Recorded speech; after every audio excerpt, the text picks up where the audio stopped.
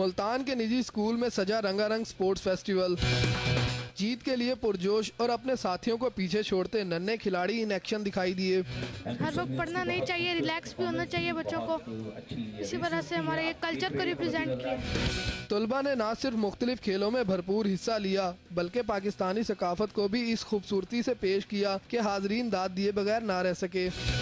ये एक बहुत अच्छी इंकरेजमेंट है कि सारे पेरेंट्स आते हैं अप्रिशिएट करते हैं और इन्होंने बहुत अच्छा परफॉर्म भी किया है। इस किस्म के इवेंट हर स्कूल में होने चाहिए ताकि जितने भी बच्चे पार्टिसिपेट कर रहे हैं वो आगे जाके अपने आप को बेहतर परफॉर्म कर सकें। स्पोर्ट्स फेस्टिवल में तलबा ने आग के साथ करतब दिखाकर शायकीन को हैरान कर दिया। स्कूल में सजे रंगारंग स्पोर्ट्स गाला में शरीक वालदेन का कहना था गैर निसाबी सरगर्मियों में हिस्सा लेने से शख्सियत में निखार आता है।